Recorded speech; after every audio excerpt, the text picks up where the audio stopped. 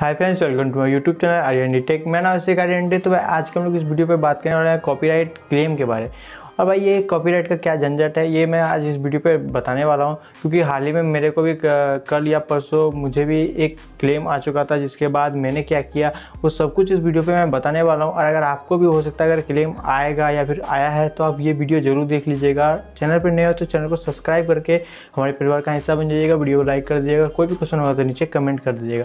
तो भाई बात आता है कॉपीराइट क्लेम भाई मैंने बहुत सारे वीडियोज़ में बताया और इसमें भी मैं बता रहा हूँ कि कॉपीराइट क्लेम आने से हमें कोई प्रॉब्लम नहीं होता है।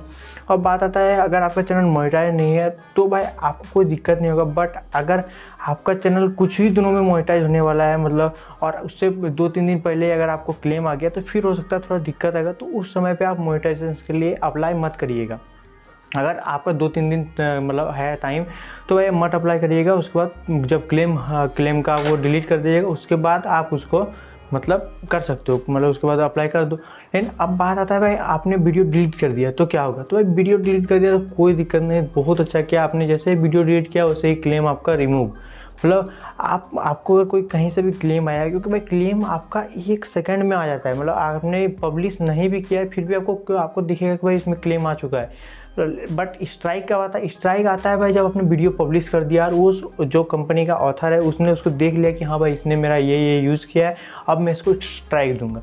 तो स्ट्राइक दे दिया तो तब तो, बहुत झंझट की बात है। स्ट्राइक अगर दे दिया तो आपको मोनिटाइजेशन होने में भी दिक्कत हो जाएगा और वो तीन महीने तक आपके चैनल पर रहेगा और और दो तीन के मतलब स्ट्राइक आ गया तो आपका चैनल डिलीट कोई नहीं बजा पाएगा उसके बाद।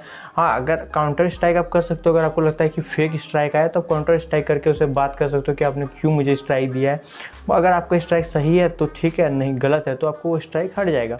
बट बात आता है क्लेम का क्लेम में आपको कोई दिक्कत नहीं आएगा क्लेम आप म्यूज़िक यूज़ किए और आपको क्लेम आ गया है तो आप उसको, उस वीडियो को डिलीट कर दीजिए।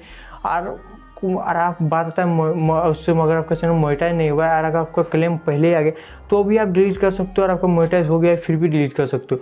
और अगर आप डिलीट नहीं भी करोगे तो कोई दिक्कत नहीं है। बट एक चीज़ का दिक्कत है, अगर आपका चैनल मोनिटाइज है तो आपका रिवेन्यू जो है वो शेयर होगा।